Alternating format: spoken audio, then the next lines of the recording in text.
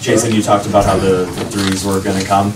Uh, seems like they did come this game. Uh, how how much does does that change? You know, just the offense that we've been seeing over the past few weeks.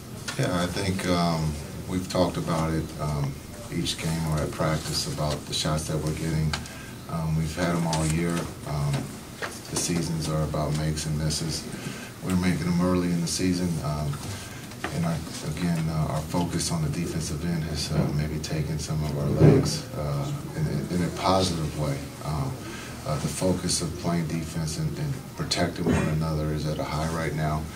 And uh, maybe our offense maybe took a step back from making threes, but I thought today uh, PJ and D Jones set the tone for us with the threes, and I thought Luka, um, our leader, set the tone early. He came out aggressive, and then our other leader and, and Kai, he set the tone at, uh, in the third with the pace.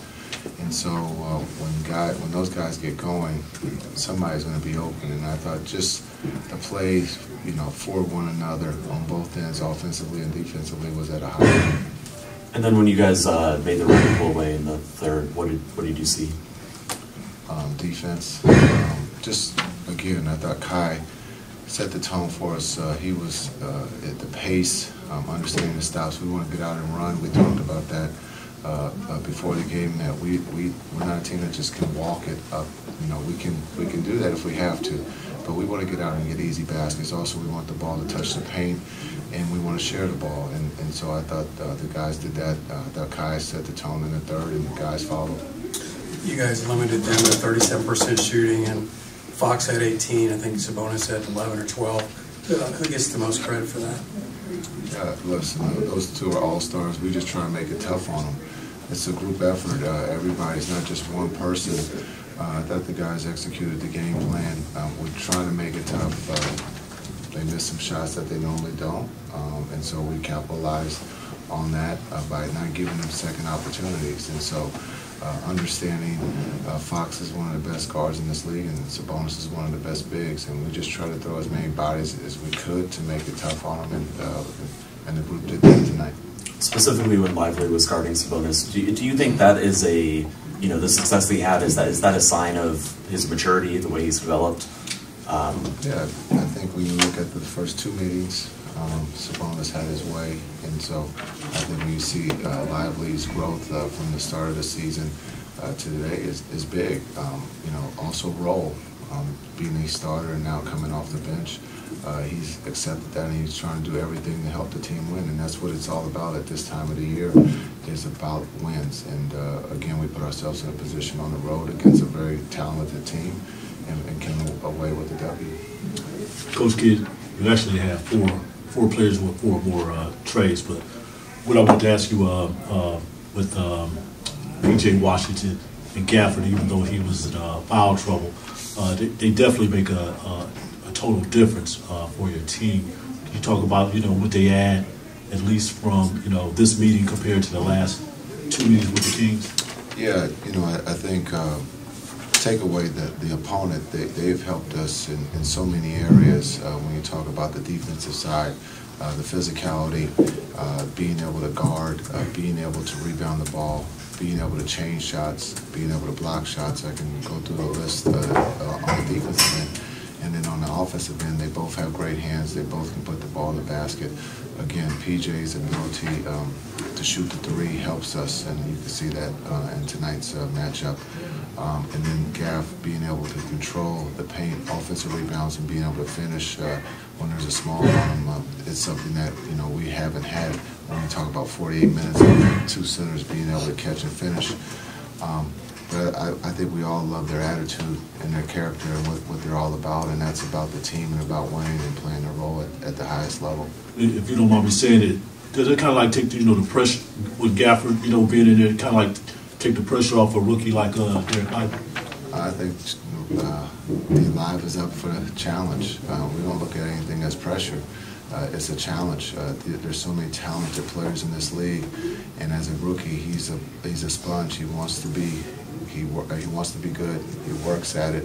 He's going to make some mistakes like vets, uh, but I think uh, just understand when you have a teammate like that uh, that will pass you the baton as a, a relay uh, you you embrace that and you want to be successful. You don't want to let your your partner down. And, and right now, that combination of those two are playing at a high level for us. Um, how do you assess Timmy's performance tonight? And also, um, you just did it with Utah. You're gonna have to do it again here. Um, how do you keep up that consistency playing the same team twice? Yeah, um, great question. Uh, we look at Timmy, I think just the shots that he's taking right now, his, confidence, uh, putting two, stacking uh, Utah in tonight, putting two games together, you can see that he's starting to turn the corner. Um, and we're going to need him. I've said that before. Um, some probably disagree, but that's cool. Um, but the, just looking at the uh, the things that he does for us on the offensive end, you can see that here in the last two games. Again, we need his leadership and his toughness and uh, his ability to make tough shots. But being able to make plays, he's starting to you know find his teammates, and that just makes the game easier for everybody. Just want this little sizzle, not little, long sizzle that you're on now. Do you feel like you're sending maybe some messages to the league and, and especially the Western Conference? No, we're, we're not saying any messages. We, we're just trying to, you know, take what's in front of us and, and, play what the game that's in front of us. Take the one possession that's in front of us to, to get better. Um, we let the media um, do, do the talking for us. Uh, we we want to we understand where we are at, how big this road trip is, and this is only game two of, of five. And again, as you brought up, we got we got to play the Kings again, and uh, we're going to have to make some adjustments. It will be a different team on Friday, and the beauty of that is that we just went through that with Utah, and when we talk about a different team, they will be fresh and ready to go. Jason, when you guys put Luka and Kyrie together, there was a lot of discussion in the media, and we talked about how good this team could be defensively, and that was in question.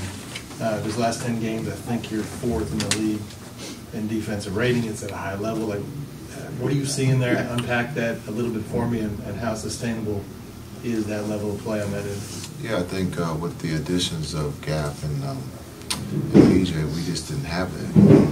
Uh, you know, understanding what those two do for us on the defensive end, their length, their athleticism. Uh, they're able to rebound the ball for us. They can rebound out of position. Uh, you know, when you talk about Derrick Jones Jr., his uh, jumping ability is like no other, so he can go get rebounds out of position. But again, they're just focused on the game plan and what they have to do and who's in front of them. Uh, it's not easy guarding Fox or Sabonis, um, and so uh, PJ asked him to guard one through five. He did that tonight. He guarded Sabonis. He guarded Fox. He never complains. He wants to go out there and do his job at the highest level. But everybody's playing for one another on, on both ends. And sometimes in the season, um, as much as coaches, we would like their defense, our defense, to be perfect uh, in training camp. It sometimes takes a little time, um, but there's no better time to play defense uh, in March when you're playing for something. And then again, our offense, we believe, is one of the best in the league with our two leaders, with Luka and Kai. So uh, we lean on those guys to be quarterbacks, and they trust their teammates when they let go of the ball. Uh, speaking of Gaff, like he had a pass where he like caught the ball and he just passed it back. Um, how do you feel like when they're doing things like that on the help defense? Yeah, I think when you when you look at what Gaff's ability to his great hands, being able to finish in traffic, uh, but then also to be able to, to just read the situation. We understand what's coming next is the pressure, uh, take the taking away Luka and Kai, and our role players are going to have to play at a high level. So uh, this is a great experience for everybody to go through it. Um, and when you have when you can have you know three ball handlers out there, that helps. But when you have centers who can make plays on the run, who can uh, make passes uh, to their teammates to the open guy, that helps. And uh, I think that's just the big trust that we have right now.